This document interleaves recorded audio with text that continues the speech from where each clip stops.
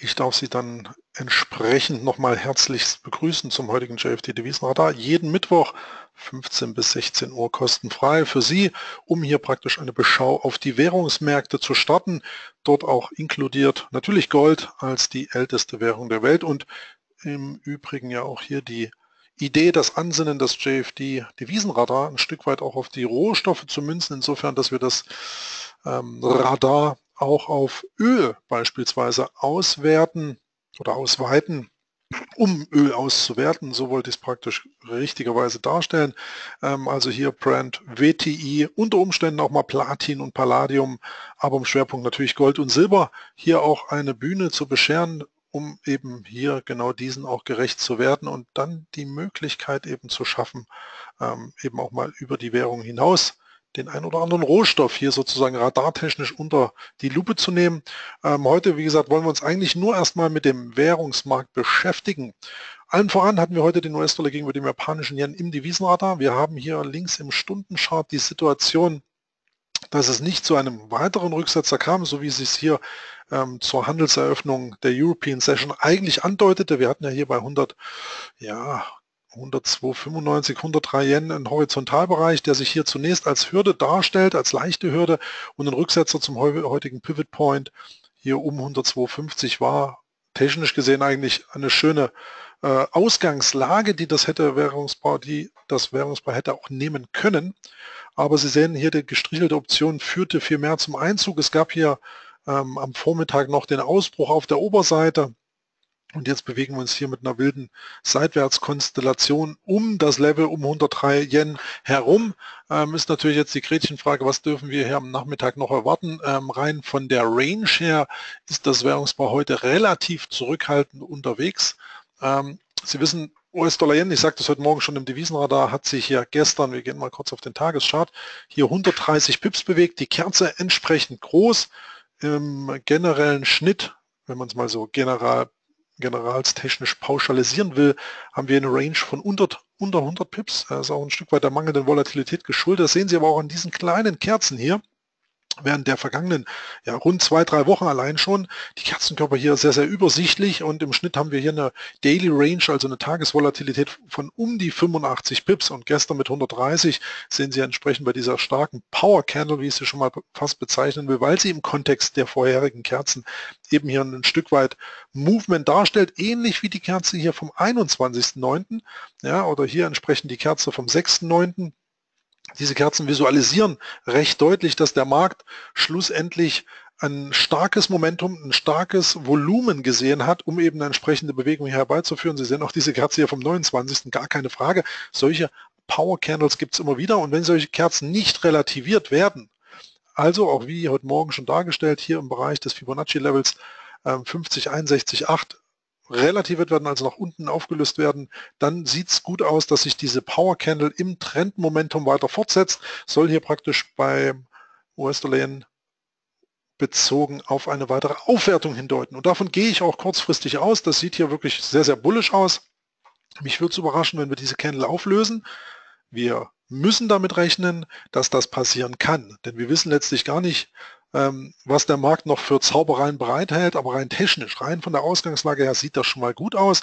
Und wenn wir diese Power Candle anschauen, das hatte ich heute beim Devisenradar noch nicht berücksichtigt, haben wir im Horizontalbereich, ja, schauen Sie das mal an, wenn ich hier rüber gehe und das bis in den August fortführe, hier immer wieder Kerzenkörper, die genau diese Zone treffen. Und das ist mit Verlaub eine sehr, sehr starke Unterstützungszone, die wir hier definitiv nicht unterschreiten sollten. Das kann man als Standing, als Wording mal hier so lassen. 101,75, das Mittel dieser Unterstützungszone, ein ganz wichtiges Level, was keineswegs, keinesfalls unterschritten werden sollte. Wenn es dazu kommt, haben wir hier definitiv wieder eine Umkehr und dann sieht es eher, ähm, ja, Szenario grauer Pfeil, danach aus, dass der Markt wohl nach unten laufen will, ja, sozusagen. So können wir das mal darstellen, wenn es denn dazu kommt. Aber Sie sehen ja aktuell selber, die Ambitionen des Währungspaares sind eigentlich aufwärts gerichtet. Sieht mir hier nicht so bärisch aus, wenn man das mal ja, so salopp ausdrücken will. Wirkt für mich hier, wie gesagt, eher bullisch, gerade der Ausbruch. Und wenn es Rücksetzer gibt, dann sollten die, wenn eben durchaus morgen. Wir haben ja auch noch die Non-From Payrolls am Freitag. Also Volatilität wird es geben. Und wenn man dann eben hier nochmal die Möglichkeit hat, um 102,50, um 102,30, ja, also 102 sollte man im Idealfall nicht mehr unterschreiten, aber in dieser Zone hier, wenn man da die Möglichkeit hat, nochmal zuzuschlagen, könnte das unter Swing Trading Gesichtspunkten eine sehr, sehr gute Ausgangslage sein. Und deswegen mache ich hier wieder mal so einen kleinen Kreis rein. Nehmen wir mal ähm, in dem Fall hier die Ellipse, weil Kreis sehe ich nicht, oder habe ich nicht drin, ist ja wurscht. Letztlich haben wir hier so eine Zone, die wir mal ja, als Ellipse sogar noch viel schöner darstellen können. Ja? Also wenn der Preis hier dieses Niveau anläuft, wäre das hier eine Buying Zone. Okay?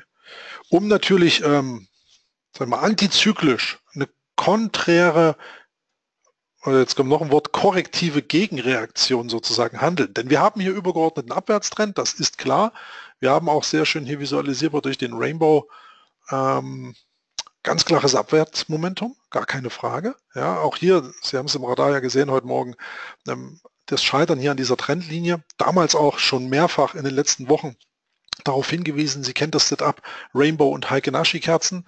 Ja, wenn wir jetzt hier praktisch die Heike-Nashi-Kerzen mal in, oder besser gesagt die Candlestick-Kerzen in Heike-Nashi-Kerzen verwandeln, den Trendfolgecharakter sozusagen an den Tag legen, dann haben wir hier natürlich eine Trendfolge-Signalgenerierung, die sich, und das können Sie sich hier sicherlich erinnern, als das Währungspaar hier um 106,50, 106 Yen notierte, ähm, hier ideale Einstiegschancen generierte, genau wie auch hier zuletzt im September ähm, an dieser Trendlinie im Rainbow eingetaucht, dann hier eine negativ, also erstmal so eine Doji Heikenashi äh, Verkaufskerze und dann nachfolgend hier eben eine klare Verkaufskerze.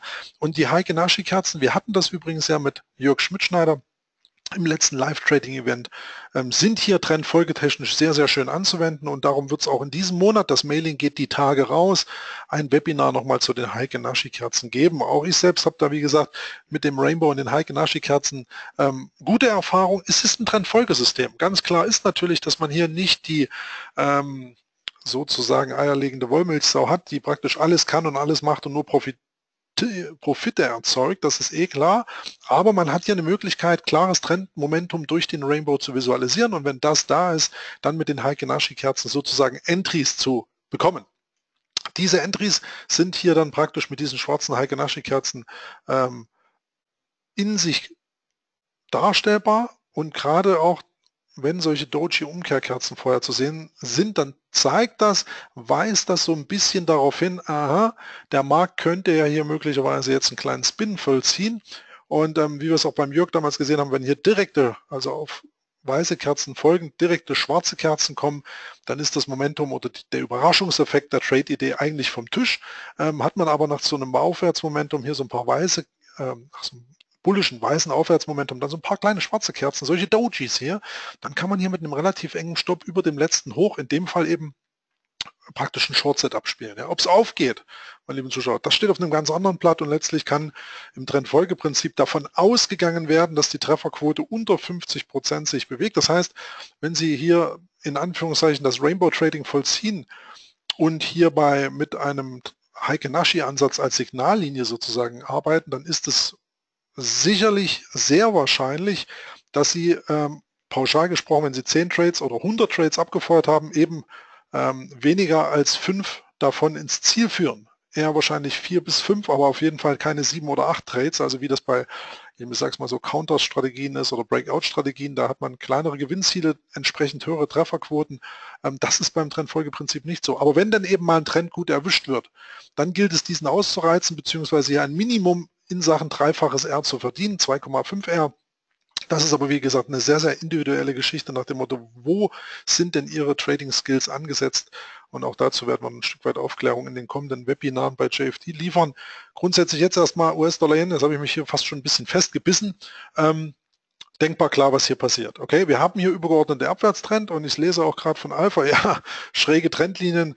Ähm, ich bin kein Fan von diesen schrägen Trendlinien, ja, aber in dem Fall ist es wieder ein Musterbeispiel, ähm, dass der Markt sich, ich will nicht sagen daran orientiert, aber dass es zumindest technisch ableitbar ergänzend eine Signalgenerierung war, die man hier durchaus hätte spielen können. Ja, so lange eben, bis es hier zu einer Umkehr kommt, hier zu so einer Art Ausbruchsbewegung, die wir jetzt hier definitiv sehen.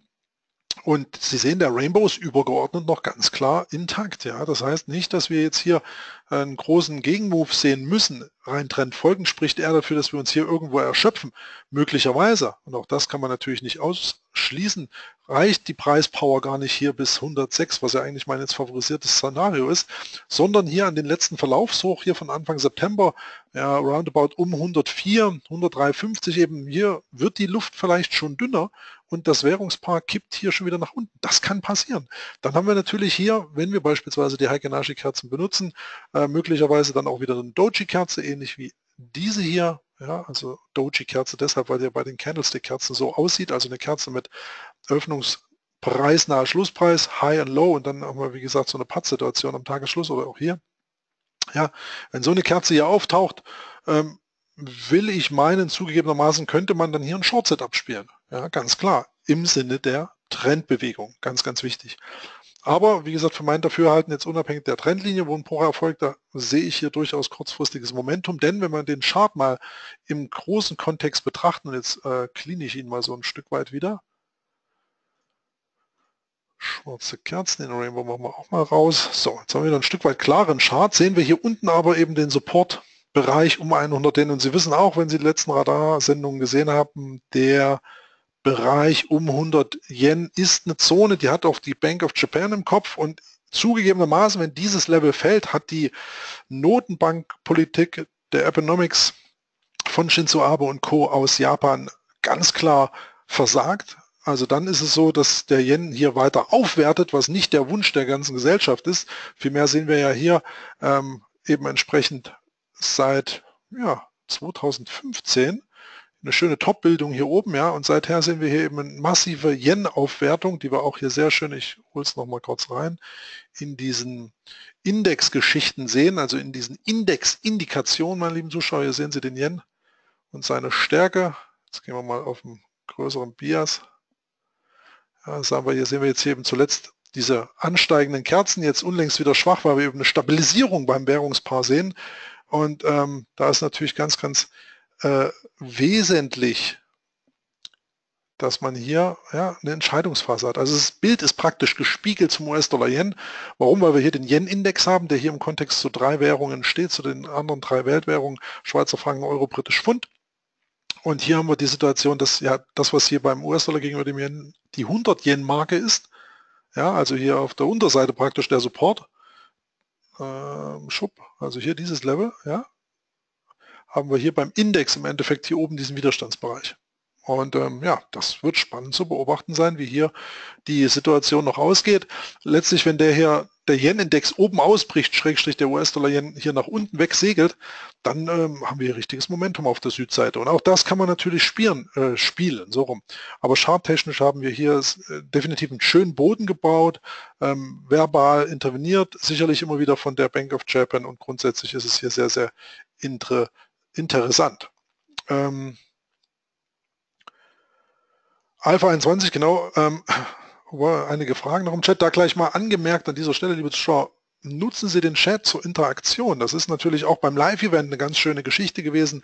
Werden wir auch diesen Monat wieder starten. Ich habe heute Nachmittag ein Telefongespräch ähm, mit einem Trader, den wir reinnehmen. Ansonsten würde ich, und das ist auch eine Frage, die gerade auch vom Stefan kam mit dem Rainbow, ansonsten würde ich selbst unter Umständen mit Martha wieder, meine in Anführungszeichen Rainbow-Schülerin aus früheren Zeiten, ähm, hier dann ein Webinar stemmen und wir werden das Rainbow Trading mal ein Stück weit wieder an den Mann bringen.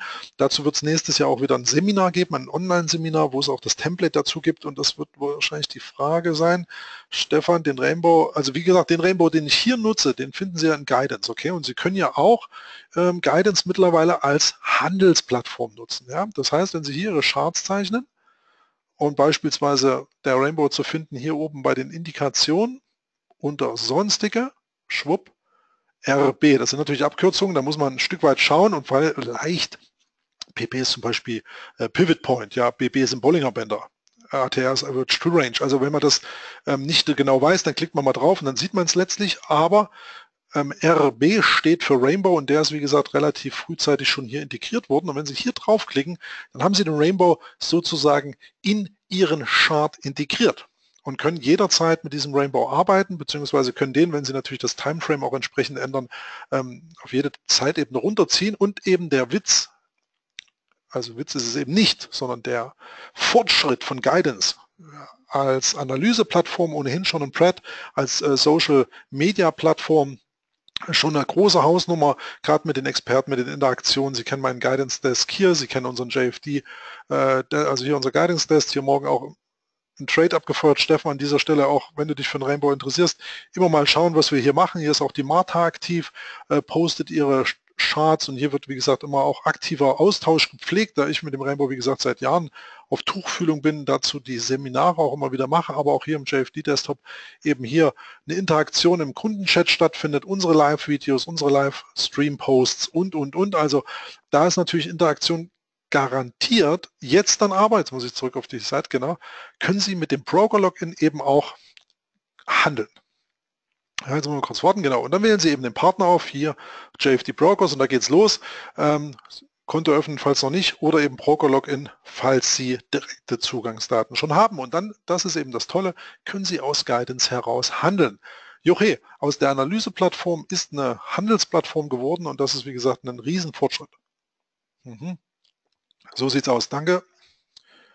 Feedback kommt auch hier gleich rein von dem einen oder anderen Teilnehmer. Ähm, ähm, ja, zur Erklärung noch, es ist grundsätzlich so, dass wir hier ähm, eine Synchronisation hergestellt haben zwischen dem MetaTrader und der Guidance-Plattform. Das heißt, es ist kein separater Konto-Login notwendig.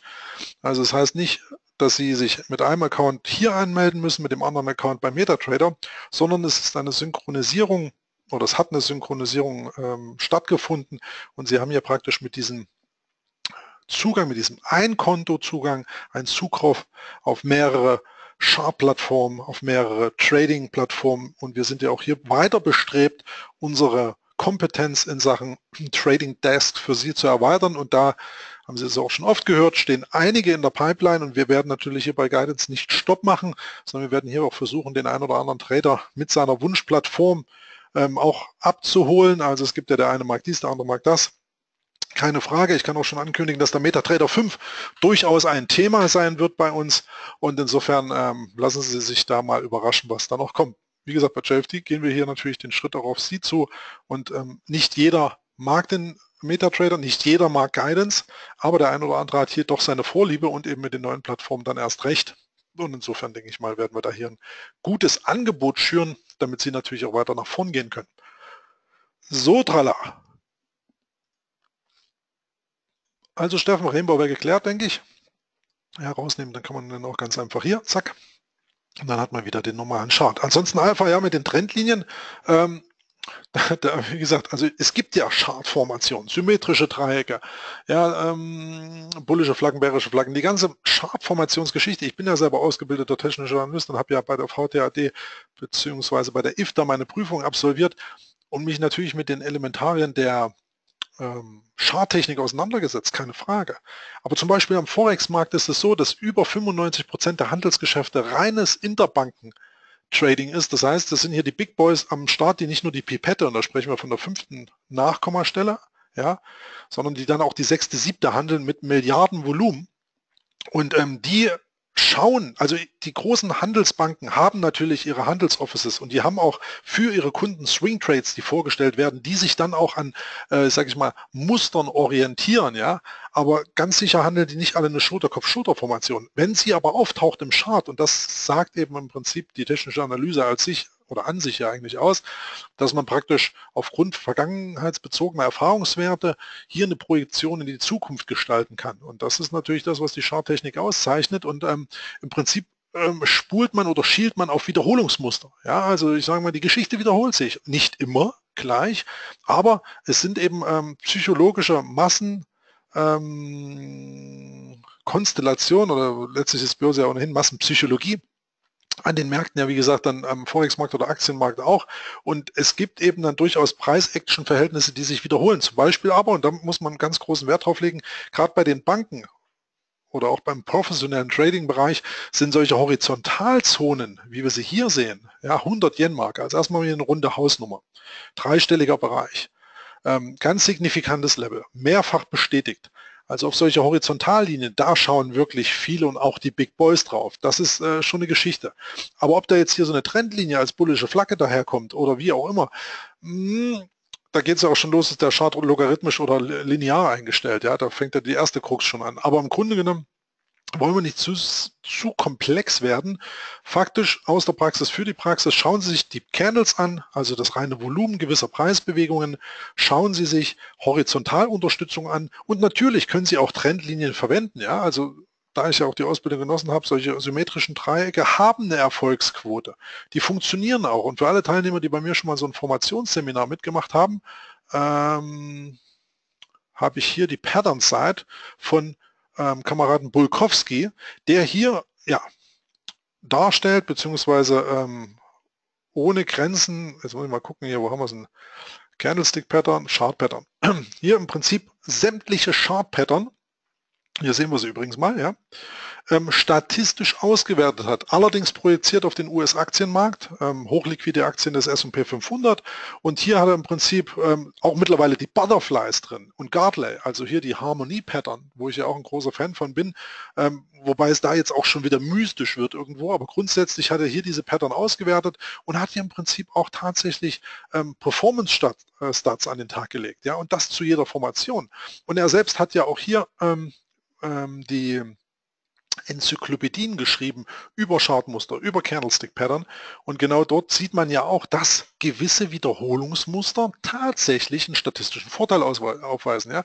Also wenn Sie zum Beispiel einen Wimpel oder eine Flagge im Chart sehen, dann ist die Wahrscheinlichkeit einer Trendfortsetzungsbewegung sehr, sehr hoch. Und das ist interessant zu wissen. Dazu, wie gesagt, wer es noch nicht auf der Pfanne hat, werden wir auch hier im JFD, ähm, ich zeige es Ihnen mal kurz, Webinarbereich. Äh, wie gesagt, die Oktober-Webinare werden alsbald reinfliegen. Ich will, wie gesagt, nur noch eine Absprache mit einem Trader treffen für den diesmonatigen monatigen Live-Event. Ähm, die können Sie dann, wie gesagt, hier immer nachlesen, unsere ganzen Webinare. Und ähm, da kommt auch was zu den Chart-Pattern. Ja, da werden wir also wieder einen kleinen JFD-Workshop fahren. Diesmal geht es gleich angekündigt um Heiken-Ashi-Kerzen, das worum es am Anfang dieses Webinars ging. Da wird es dann hier um ähm, in Zukunft sozusagen auch im Chartpattern gehen. Ja? Also das sagen wir, die Reise geht natürlich weiter. So, jetzt aber muss ich mal wieder auf die Währungspaare zurückkommen. Wer Wunschwährungspaare hat, meine lieben Zuschauer, Attacke, ja, fühlen sich hiermit angesprochen, mir ihr Wunschpaar rüber zu schieben. Äh, wenn Sie keins haben, ich habe meine eigene Liste jetzt schon vorbereitet, die ich praktisch Ihnen zeigen will, aber es gibt ja möglicherweise noch gewisse Wünsche am Horizont die wir natürlich gern aufnehmen oder die ich letztlich dann gerne aufnehme. Also tun Sie sich jetzt ähm, nach Wunsch und Dafürhalten einfach einen Gefallen und nutzen Sie den Chat und es geht auch schon los, so rums der Bums. Also ich kann die Währungspaare, also wie gesagt, jeder fühlt sich aufgerufen, einfach mal ein Währungspaar, was er gerne analysiert hätte, reinzuschreiben und ich schaue mal, wo es die meisten Matches sozusagen gibt und werde dieses Währungspaar dann sozusagen analysieren ja, oder beziehungsweise vornehmen. Ich selbst habe jetzt natürlich auch Währungspaare schon auf der Pfanne, allen voran ähm, im konkreten Beispiel den Goldpreis. Der ist enorm wichtig für mich jetzt, gerade wegen der gestrigen Korrektur. Kündigt ihr euch auch schon an, dass wir das heute im Webinar durchnehmen werden. So.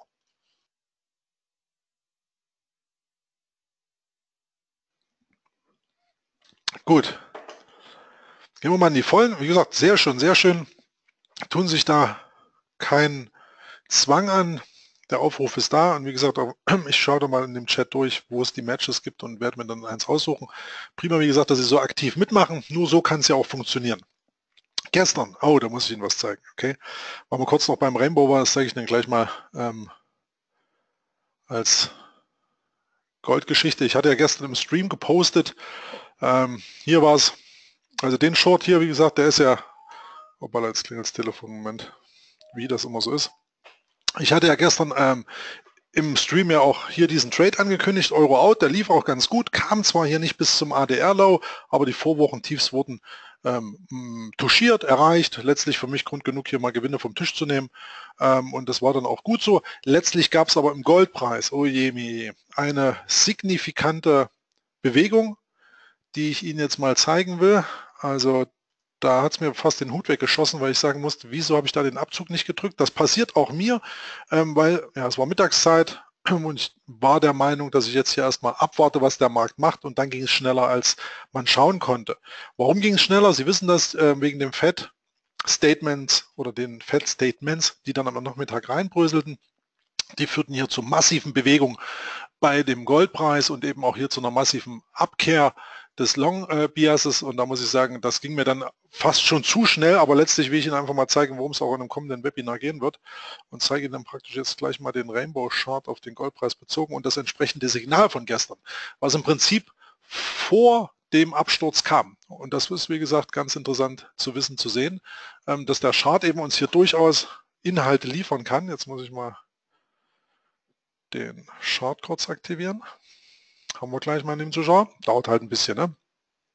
Ja, viele Programme hier am Start hat er ganz manchmal länger dauern, wie das manchmal so ist.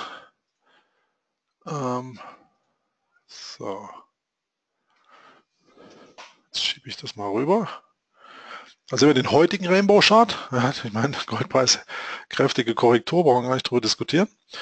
So, und zum einen gab es gestern hier ein Short-Signal, ja, mit Ausbruch der Asia Range, ich kann es direkt mal so ähm, explizit darstellen.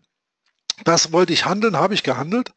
Ähm, den Ausbruch hier aus der Asia Range, das sah mir sehr, sehr gut aus, aber es kam kein Druck auf. Okay? Und dann hat sich der Preis hier zurückgearbeitet und hier oben war mein Stop an dieser äh, türkisen Linie, äh, ist mein Stop lang gewandert und dann habe ich mich sozusagen für einen Exit entschieden, weil auch hier das Gegensignal kam mit diesem dann äh, türkisen ähm, Stop-Band sozusagen. Dann bin ich raus. Oh, oh. Und dann habe ich erstmal abgewartet, was passiert. Dann habe ich aber gesehen, der Preis entwickelt nach oben kein Momentum und wir haben, das sieht ja in Anführungszeichen jeder Blinde, hier ein richtiges Abwärtsmomentum in Sachen der, des Rainbows. Okay?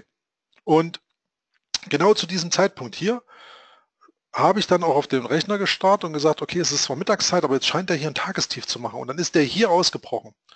Und ähm, mit den Heigenashi-Kerzen kam auch hier ein verspätetes Verkaufssignal. Mit den MACD-Candles, die ich jetzt hier speziell verwende, hatten wir mit dieser roten Kerze ein Verkaufssignal, ähm, welches mir dann erstmal anschaut und dachte, hoppla, das ging jetzt aber recht schwungvoll. Genau das wollte ich sehen.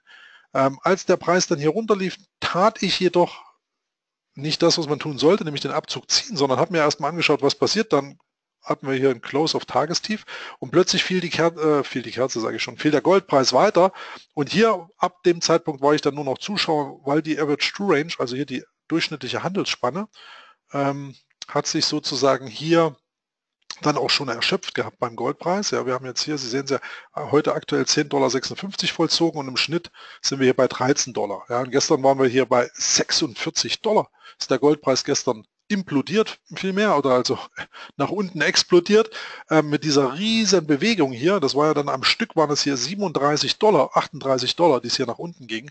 Und das war natürlich ein Brett. Ja, also ein Brett an Bewegung. Und ähm, ja, das war eine verpasste Chance, wo man sich durchaus äh, kneifen muss, aber kommt vor. Wenn man so eine Chance aber natürlich mitnimmt und diesen Abwärtslauf, auch sei es nur noch mit der Teilposition durchhält, bis hier unten irgendwo, wo dann die Kerzen beispielsweise signaltechnisch hier wieder ihre Farbe wechseln und dann praktisch von rot wie bärisch auf äh, khaki wechseln, okay, da kann man dann sagen, gut, jetzt ist das, die Luft raus aus der Geschichte, jetzt verabschiede ich mich von dem Trade und sage danke, dass ich dabei sein durfte und ähm, das war es dann. Heute, wie gesagt, beim Goldpreis wenig Action, der gestrige Tag muss in Anführungszeichen buchstäblich erstmal verdaut werden und insofern ist hier nichts weiter passiert. So, jetzt werde ich dann aber mal den Markt scannen nach Möglichkeiten. Was gesagt, Gold haben wir jetzt mal kurzfristig im Rainbow thematisiert.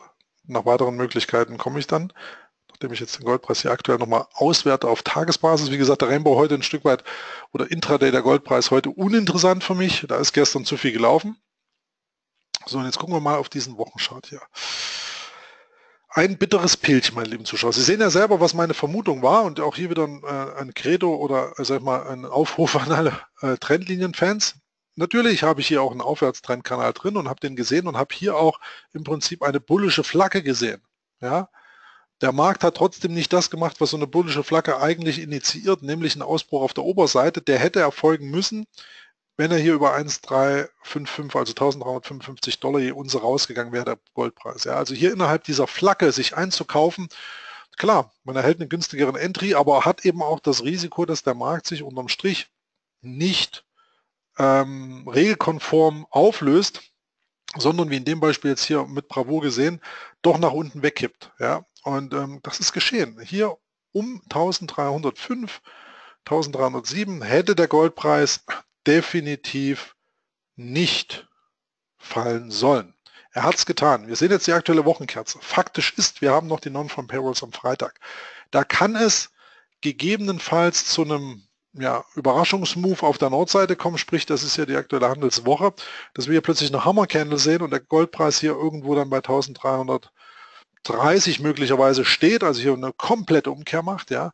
Aber die Non-Farm Payrolls haben auch natürlich das Potenzial, das, was wir jetzt ohnehin schon an negativer Handelswoche sehen, nach unten aufzulösen. Und nach heutiger Einschätzung ist der Goldpreis durch die Schwäche des insbesondere gestrigen Tages hier eindeutig angezählt. Und da ging es ja darum, dass eben hier die Notenbank aus den USA, die Fed, die Leitzinsen eben aggressiver anheben wird und eben nicht hier so Trippelschrittchen macht und hier Inflation äh, schüren will. Nein, es ging eben hier wirklich um prozentuale Stats, die mit den 94er Jahren verglichen wurde, äh, wurden. Und da wurden im Prinzip die Leitzinsen heute nicht vorstellbar, machen wir uns nichts vor.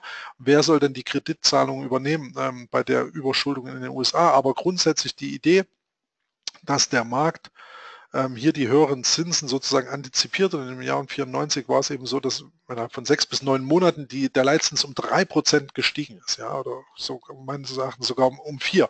Nagen Sie mich da jetzt nicht konkret fest, aber tatsächlich, es gab immense Zinsanhebungen innerhalb eines kurzen Zeitfensters. Und ja, die Notenbank äh, Fed hat ja hier praktisch die Zinsen letztes Jahr im Dezember da bewegt und jetzt ist immer die große Frage, wie viele Zinsschritte kommen noch? Was kommt noch? Auf der Oberseite gibt es noch Überraschungen und das sind ja eben die großen Spekulationen. Und ähm, ja, da wurde eben gestern in die eine Richtung geblasen und der Goldpreis hat hier erstmal sehr, sehr verschnupft darauf reagiert, weil Gold wirft eben keine Zinsen ab. Gold ist im Prinzip sozusagen ein, man sagt ja auch Versicherung, ein Trading-Vehikel auch, aber grundsätzlich eben nicht mit dem Zinseszinseffekt, was natürlich Anleihen haben, was natürlich durch den Leitzins ähm, gesteuerte ähm, ähm, Bonds weltweit haben, wo man dann immer eben sagt, wenn die Zinssätze natürlich steigen, dann wird praktisch Gold wieder unattraktiver als jetzt, ja.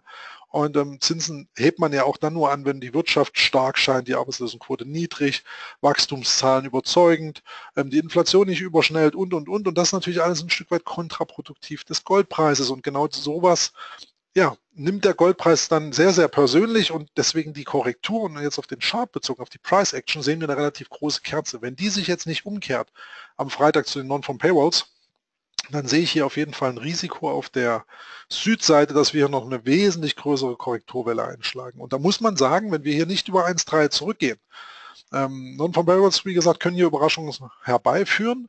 Ähm, sollten wir aber unterhalb von 1300, meinetwegen auch wenn es eine kleine Erholung gibt, unterhalb von 1300 aus der Woche gehen, dann sieht das meines Erachtens wirklich so aus, als würde der Goldpreis hier nach unten rausbrechen. So.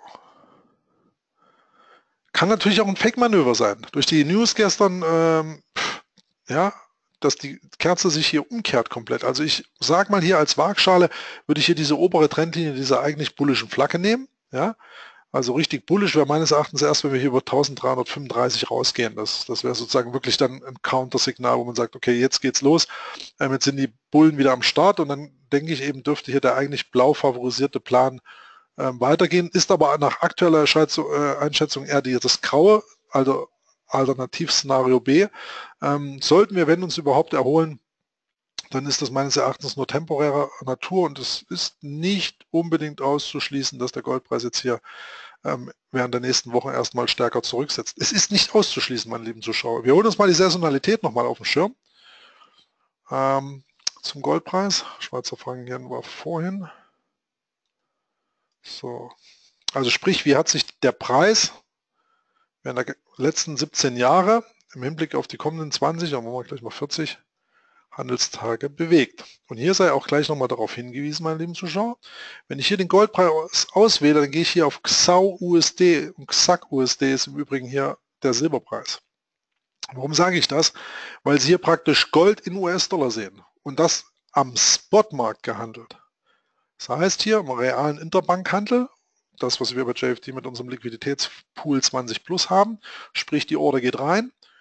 durch unsere Technologiesysteme, DMA, STP, ja, wird hier eine Preisfindung vollzogen über Bridge- und Aggregatorensysteme an den jeweils besten Bit oder an den jeweils besten Ask. Also Ihre Preisfrage geht sozusagen in den realen Markt. Und der XAU USD ist kein CFD, sondern das ist der reale Gold-Spot-Preis. Und der wird am Interbankmarkt genauso gehandelt wie der Euro-US-Dollar. Ähm, ähm, Alpha 21 hat keinen Ton. Ja, ich denke, jeder von Ihnen hat hoffentlich einen Ton.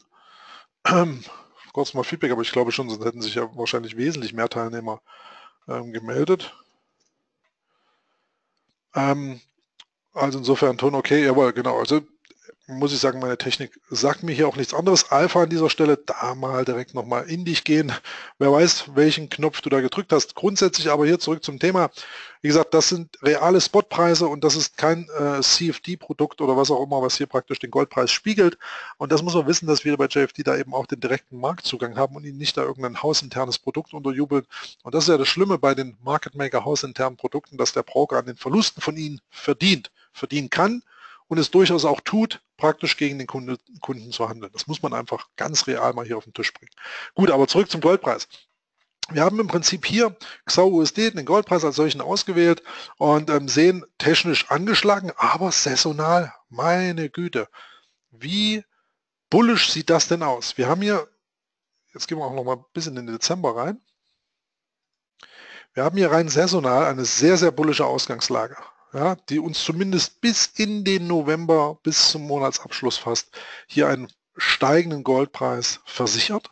Wir wissen es wiederum nicht, ob es so kommen wird, aber rein saisonal ist es praktisch so, dass der Goldpreis ähm, hier dazu neigt, ab Oktober anzusteigen, bis November auf jeden Fall. Selbst im Dezember gibt es hier noch einen kleinen Dip und dann sehen wir auch schon wieder eine leichte Erholung. Aber grundsätzlich sehr, sehr positives saisonales Momentum. Deswegen ja auch, und das hatte ich damals im Video auch besprochen, ähm, lasst den Goldpreis hier noch ein Stück weit konsolidieren in dieser bullischen Flagge. Wenn er dann ausbricht, dann haben wir hier saisonal gesehen ein sehr, sehr schönes Muster, was zu diesem Trendkanal, zu dieser bullischen Flagge passen würde. Ja, und Sie sehen ja, mein Ziel lag hier oberhalb von 1550 irgendwo. Ähm, ich werde die Woche höchstwahrscheinlich nochmal ein Update fahren in Sachen Analysecheck, eben aufgrund der brisanten Situation vom Goldpreis. Und wir werden dann hier, wie gesagt, die Situation nochmal neu bewerten. Aber es muss gesagt werden, aktuell charttechnisch definitiv Schieflage, definitiv angeschlagen und es deuten sich Rücksetzer Richtung 1,2 ähm, und 1, ähm, 1,75 an. Ja, hier Zielzone. Durchaus denkbar.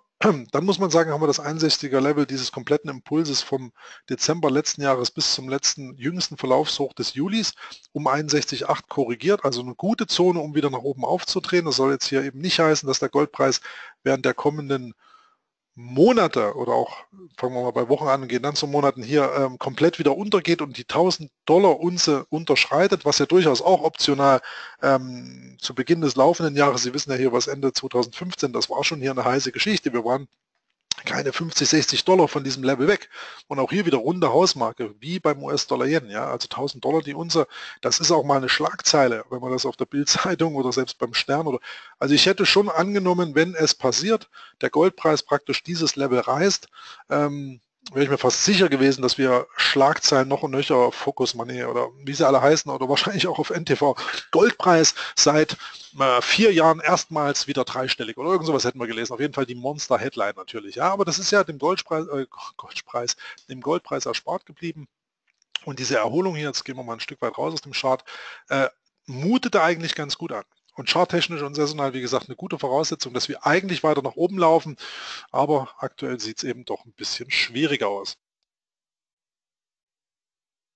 So, aber schwieriger ist relativ. Insofern mal warten, wie der Freitag daherkommt. Also ich will jetzt hier die Situation hier nicht so negativ, äh, negativ darstellen, dass der Goldpreis zum Untergang geweiht ist, aber es kann durchaus sein, dass wir hier durchaus nochmal 100 Dollar tiefer gehen. Passt nicht unbedingt ins saisonale Muster, aber technisch ist hier, wie gesagt, einiges am Porzellan zerschlagen.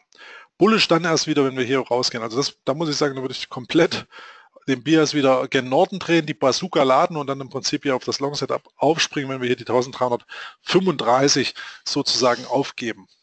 Dann ähm, wäre es meines Erachtens, also aufgeben auf der Oberseite, sprich überwinden, dann wäre das meines Erachtens eine sehr, sehr schöne, eine sehr, sehr schöne Ausgangsbasis, um zu sagen, okay, jetzt darf der Goldpreis auch weiter anziehen. Aber so ist es nochmal aktuell nicht. Gut, Auch die heutige Erholung ist im Prinzip ein, äh, ein Klecks auf, oder besser gesagt, ein kleines Salzkorn in der Suppe. Oder ein heißer, äh, ein kalter Tropfen auf dem heißen Stein. Das ist, Sie sehen ja auch hier die Tageskerze. Ja, dürftig. Ja, nach der gestrigen fast 50 Pip Abwärtskorrektur ähm, ist es hier mit der heutigen Kerze fast schon peinlich äh, in Sachen Gegenbewegung. Man sieht, das starke Abwärtsmomentum wird nicht wirklich gekauft und das belastet den Goldpreis auch zusehends. Also sieht wirklich nicht unbedingt ähm, gut aus. Okay. Jetzt muss ich direkt nochmal reingehen in den Chat. Wie gesagt, wir hatten viele, viele ähm, Fragen oder auch besser gesagt Anregungen zu Währungspaaren. Das, das sondiere ich jetzt mal. Ähm, das Seasonal Tool, das ist ähm, ein lizenzpflichtiges Tool und nennt sich Forex Bull. Ähm, das wie gesagt ähm, per Lizenz sozusagen erwerbbar und dann kann man da statistische Auswertungen treffen. Einfach mal Forex Bull bei Google eingeben. Da kommen Sie zur Website. Ist auch ein statistisches Tool, was ich selbst nutze, nennt sich auch Fuzzi Vektorlogik. Auch der eine oder andere wird das schon wissen, was ich damit meine. Ein Stück weit mystisch wieder, aber auch hier werden vergangenheitsbezogene Daten in die Zukunft projiziert. Das ein Stück weit gemixt mit Saisonalität und auch zum Beispiel hier solchen Wochentagen oder Wochentagsstärken. Und da ergeben sich dann praktisch so statistische Kennzahlenmuster, die einen möglichen Vorteil im Trading bringen können. Gut, mögliche Vorteile wollen wir jetzt mal betrachten. Ich sehe auch oft, weil ich den Goldpreis gerade behandelt habe, den Silberpreis als Frage, also als Vehikel, was ich denn jetzt mal durchnehmen soll. Und ja, da komme ich Ihrer Frage gerne mal nach. Wir schauen mal auf den Silberpreis. So, da haben wir den Chart. Das sieht nicht mal so uninteressant aus. Schauen Sie das mal an, lieben Zuschauer. Also Silberpreis habe ich jetzt im Vorfeld nicht durchgescannt. Goldpreis war klar, dass ich den durchnehme heute ähm, im Devisenradar, ähm, neben US-Dollar, Yen und auch dem ein oder anderen Währungspaar, was ich noch im Hinterkopf habe. Aber schauen Sie sich mal den Silberpreis an. Ähm, den hatte ich auch gecovert mal bei einem letzten Devisenradar. Webinar beziehungsweise auch Livestream, jeden Morgen ja 9.30 Uhr. Und da hatten wir hier natürlich diese Abwärtsbewegung, da wieder ein schön Gruß an die schräge Trennlinie. Hat hier wieder in Anführungszeichen ja, punktuell, fast schon schablonartig gepasst, geklappt. Hier haben wir ein Widerstandslevel noch horizontaler Natur gehabt, ja, und dann ging es zurück. Und hier, das war eigentlich, wenn wir den Ausbruch über 20 Dollar, 20 Dollar 15 als Trigger-Level nicht schaffen, war meine Idee, okay, der Goldpreis darf ruhig auch nochmal zurücksetzen. Sie sehen hier die gestrichelte Linie. Und das ist auch passiert. Und er hat auch zurückgesetzt, aber wie wir jetzt wissen, sehr, sehr deutlich. Allerdings, jetzt zoome ich mich mal raus. Hier diese Linie. Machen wir mal eine U-Linie als Unterstützung draus. Price Action hier. Ausbruch, Durchlauf spielt keine Rolle. Price Action hier, Price Action hier, Price Action hier. Und genau an diesem Level stehen wir wieder. Das ist eine Zone, meine lieben Zuschauer, die ist für Anleger, Trader auf jeden Fall von Interesse. Und zudem haben wir hier vom Aufwärtsimpuls Mitte des Jahres bis zum Verlaufshoch ausgehend, also diese Bewegungsstrecke hier jetzt einen korrektiven Rücklauf gesehen bis zum 61er Level. Dieses Level, und heute habe ich es echt mit schrägen Trendlinien, passt auch an diese Trendlinie heran. Und genau von dieser laufen wir jetzt nach oben. Ich darf keine Handelsempfehlung aussprechen, aber wenn ich mir das Bild jetzt mal anschaue beim Silberpreis, dann kann man der, der davon ausgeht, dass der Silberpreis, und dann gehen wir auch gleich mal auf die Saisonalität vom Silberpreis, das hier ist übrigens der Tageschart. Und das ist die Saisonalität zu Silber, ist natürlich dem Goldpreis nicht wirklich ähm, abgeneigt, weil der Goldpreis als großer Bruder sozusagen ja ohnehin ähm, den Rückenwind darstellt für den Silberpreis. Ja, also wenn Gold steigt, tut Silber das gleiche und umgekehrt. Nur Silber ist der Hebel auf Goldpreis. Also Silber bewegt sich in Anführungszeichen fünfmal stärker prozentual gewichtet wie eben der Goldpreis. Aber wenn wir das eben sehen, dann kann man dazu übergehen, dass es hier rein technisch nur auf den Silberpreis bezogen, der Goldpreis sieht ja technisch gesehen nicht so gut aus, dass wir hier eine Erholungsbewegung sehen könnten, die durchaus die letzten Hochs attackiert. Also die letzten Unterstützungshochs. So, dann machen wir mal einen blauen Pfeil als wahrscheinliche Variante. Wenn es richtig gut kommt, dann hat der Silberpreis sogar noch Chancen, eine kräftigere Erholung einzuleiten. Das geht aber nur, wenn es der Goldpreis eben dann auch über die 1300 schafft und das sieht mir eben nicht danach aus. Also das Bild ist hier jetzt gerade völlig konträr des Goldpreises. Aber beim Silberpreis kann ich mir hier erlauben, so eine äh, Unterstützung oder Erholungsbewegung einzuzeichnen, aufgrund des 61,8er Levels, aufgrund dieser schrägen Trendlinie, die jetzt nicht das Schwergewicht ist, aber durchaus interessant, und aufgrund dieser horizontalen Unterstützung, dass der Silberpreis von diesem Level aus hier zumindest korrektiv einen kleinen Erholungsimpuls fährt, der im Ausdehnungsfall auch bis 19,50 Dollar reichen könnte. Und richtig aggressiv gesprochen, ja, könnte der Stopp sogar unter dem heutigen Tagestief bzw. unter dem gestrigen liegen. Also hier ein CAV, ähm, also ich sag mal, wenn man das auf der Südseite jetzt einsteckt, was haben wir hier für ein Risiko? Ich sag mal, wenn wir selbst ein Stück weit runtergehen auf minus 1%, äh, roundabout, ein Stück weit, ja, ein bisschen größer ziehen die Geschichte. So. Dann haben wir hier ein CRV, das überschlägt sich ja praktisch, also ein CRV von 1 zu 9, 1 zu 8. Unglaublich, wenn man es denn auch durchhält, bis zum oberen Exit das Ding hier durchzuhalten. Ähm, äh, fast so schön, um wahr zu sein. Ich kann mir auch nicht vorstellen, dass der Silberpreis so eine Bewegung jetzt vollzieht, aber technisch gesprochen, unterstützungsausgehend und insbesondere auch von der Saisonalität kann das durchaus passieren. Man muss natürlich jetzt auch wissen, das betrifft den Silberpreis genauso wie den Goldpreis, wenn wir die Non-Farm Payrolls am Freitag bekommen, dann kann Silber auch mal hier äh, schöne Spikes vollziehen. Ja? Also das heißt, hoppla, ich gehe mal nach oben, kurz mal einen Dollar, hoppla, ich gehe mal kurz einen Dollar nach unten und am Ende stehen wir wieder im Status quo der Preisaction vor den Non-Farm Payrolls. Das kann ja immer passieren und dann guckt man natürlich in Anführungszeichen in die Röhre und stellt fest, ja, außer Spesen nichts gewesen. Deswegen vor den Non-Farm Payrolls oder direktes News Trading ist hier immer mit einem gewissen ähm, Risikofaktor besetzt ähm, und deswegen ja, müsste man, wenn man ganz sicher gehen wollte, den Stopp hier irgendwo weiter wegsetzen noch. Ähm, irgendwo ist wieder eine gute Sache. Man könnte den Supertrend nehmen, man kann sich anhand der ATR, also der Urge True Range orientieren. Ähm, da gibt es viele Möglichkeiten, aber so eng gesetzt wäre es dann definitiv eine Gefahr, dass der Stop dann zum Beispiel bei den Non-Farm Payrolls abgeholt wird. Aber interessant ist, dass Silber hier ein ganz anderes technisches Bild aufwirft als der Goldpreis. Der Goldpreis aber als großer Bruder sicherlich hier mehr Gewicht und Aufmerksamkeit erfahren sollte. Aber das mal zum Silberpreis. Ich hoffe, für die vielen Fragen zum Silberpreis konnte ich jetzt hier eine Antwort geben. Obgleich, wie gesagt, das Ergebnis mich durchaus ein Stück weit überrascht. Das muss ich wirklich sagen. Gut, wir hatten noch äh, US-Dollar, Kanadisch-Dollar. War häufig gefragt. Auch ein Währungspaar, was ich jetzt in jedem Fall mal vornehmen wollte. Ähm, warum? Wir haben ja erstmal den großen Chart, Wochenbasis. Sie kennen die Untertassenformation, so viel zur Charttechnik. Die hat ja auch statistischen Vorteil wenn so eine Formation auftaucht. Sie braucht Zeit, das ist keine Intraday-Formation, das ist eine Geschichte über Monate, wenngleich hier sogar über Jahre auf ähm, Wochen-Monatsbasis beim US-Dollar gegenüber dem kanadischen Dollar. Aber wenn sie auftaucht, hat sie eine hohe Trefferquote. So. Im Zuge der Ölpreisschwäche, der US-Dollar ganz klar profitiert. Dazu kam eben noch die Leitanhebungsfantasien und auch die vollzogene Leitzinsanhörung und der Preis ging hier entsprechend durch die Decke. Ähm, hat sogar hier das Untertassenziel bei weitem überwunden, hat auch hier das entscheidende Levels der Hochs vor der Finanzmarktkrise überwunden. Alles wunderbar. Hat sich dann aber hier tatsächlich, also ich dachte schon im Bereich 1,40 erfolgt eine Erschöpfung. Da gab es mal einen schönen Ausbruch nach oben, ähm, um dann hier sozusagen bei 1,46 hier leicht der Horizontalwiderstand ähm, dann nach unten abzudrehen und hier eine große Korrekturwelle zu fahren. Ähm, dann hatten wir hier so eine Art aufsteigendes Dreieck. Müssen wir jetzt mal auf Wochenbasis korrigieren. So. Scheint immer noch so. Also ein Stück weit ähm, lässt es sich, und da muss man auch wieder klar sagen, so ein Preis, ja, also so ein Preischart ist ja ein lebendes Objekt, ja, also mehr oder weniger.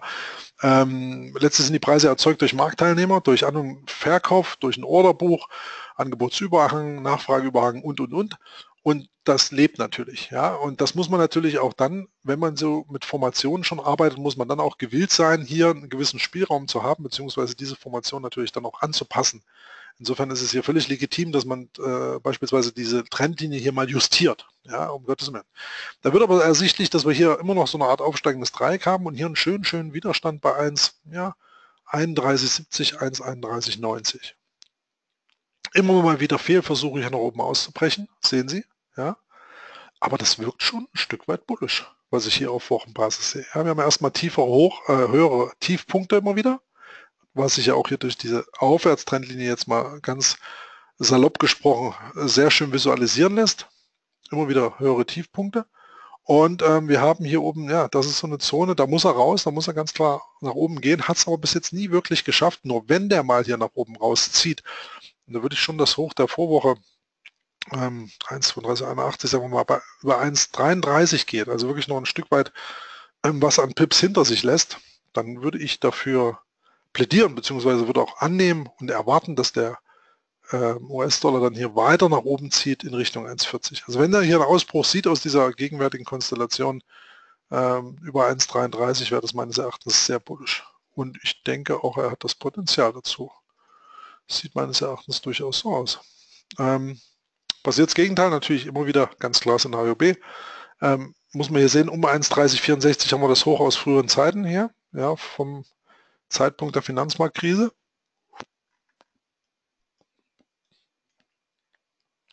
Und sollte der Preis, naja, das wäre auch das aktuelle Wochentief, das Vorwochentief und auch das Vorvorwochentief, unter dieses Niveau zurückfallen, dann wird hier ja diese Trendlinie mehr oder weniger interessant, aber richtig bärisch wird die Aufgabe von 1,28, weil wir dann auch hier die Sommertiefs unterschreiten würden und den Spielraum würde ich dem Währungspaar schon lassen, weil wenn es dazu kommt, ja, dann gehen wir schnell in Richtung 1,22, 1,23. Ähm, alles dazwischen ist meines Erachtens wildes Gerange und das sehen Sie auch hier, also das, also hier unter Swing- oder Trendfolgegesichtspunkten Geld verdienen zu wollen, ist sichtlich schwer. Also da muss der Markt ja hier ganz klar ähm, eine Tendenz entwickeln, ja, eine Trendfolgetendenz und die sehen wir hier überhaupt nicht. Ich meine, wir haben hier eine Konsolidierung nach diesem Ausverkauf. Ähm, rein vom Bias her sieht das, wie gesagt, bullisch aus. Wir können jetzt auch nochmal die Saisonalität auf den Schirm werfen. Haben wir ja eh schon die kommenden 60 Tage. Das heißt, wir haben hier das Potenzial für die nächsten 60 Tage mal vorauszuschauen. Sieht nicht gut aus beim US-Dollar Schweizer Franken, aber wir wollen den Looney, den US-Dollar gegenüber dem kanadischen Dollar. Ja, das ist ein anderes Bild als beim Goldpreis. Ähm, um nicht zu sagen hier Europa hoch, da geht es mal hoch, geht es mal runter. Und auch wenn wir hier auf die Preisskala, Punkteskala schauen, das ist hier nicht wirklich klar, wohin hier saisonal die Reise gehen soll. Anders als beim Goldpreis, da haben wir schön Rückenwind, nach oben schön Nordwind. Da kann was gehen, aber hier beim US-Dollar gegenüber dem kanadischen Dollar, pff, Saisonalität mit Verlaub überhaupt nicht vorhanden. Das ist hier ein wildes Rumgepengle und genau das macht er im Prinzip ja auch schon hier seit dem Frühjahr.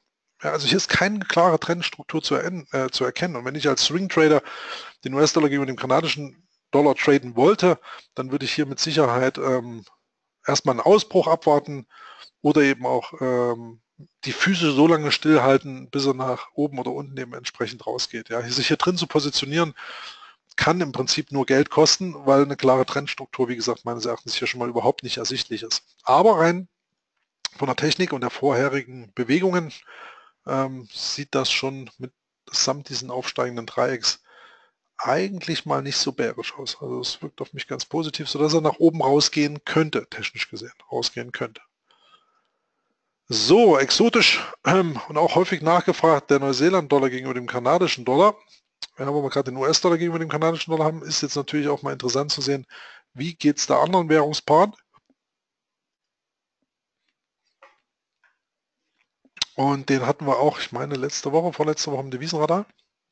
Da ging es um dieses All-Time-High, über über das Mehrjahreshoch. Ja, hier über 0,96, 50 roundabout.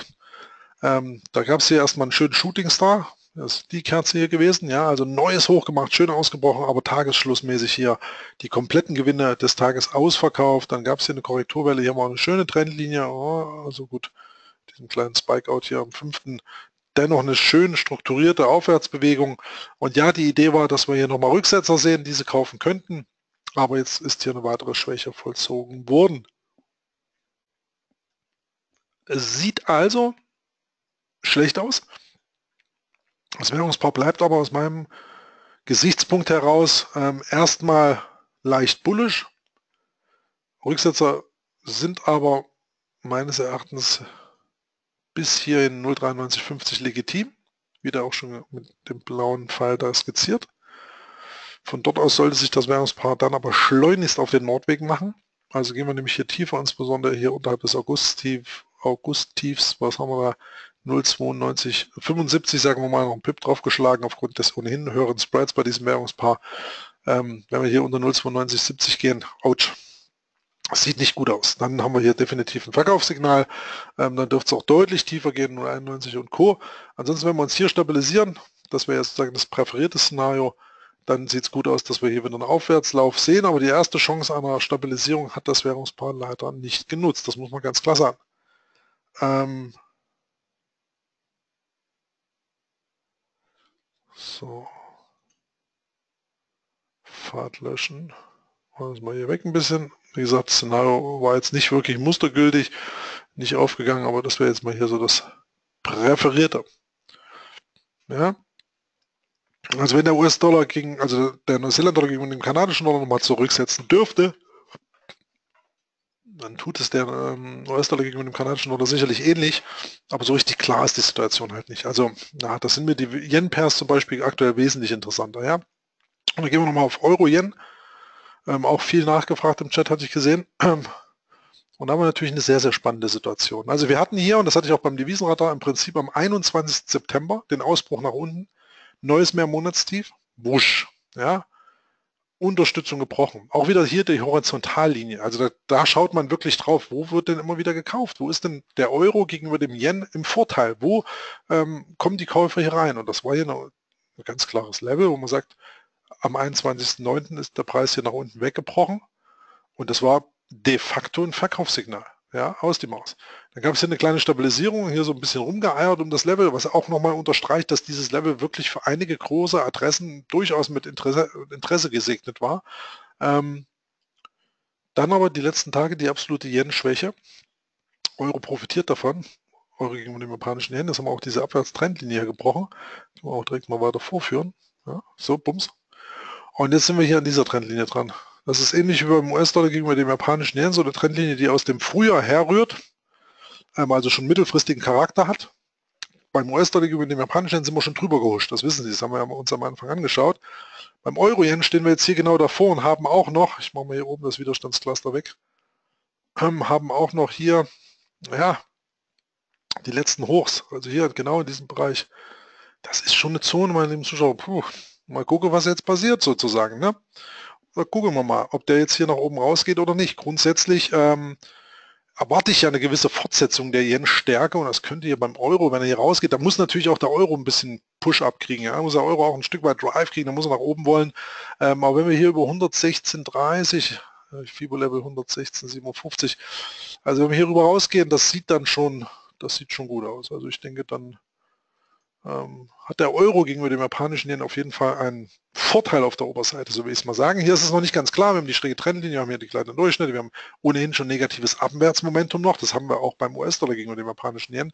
Also grundsätzlich kann hier noch viel passieren auf der Südseite, aber ähm, ja, Südseite, Nordseite, grundsätzlich ähm, beides möglich. Leicht präferiert Nordseite, schauen wir auch nochmal auf die Saisonalität hier beim Euro gegenüber dem japanischen Yen oder am Bias kriegen, der uns unterstützt.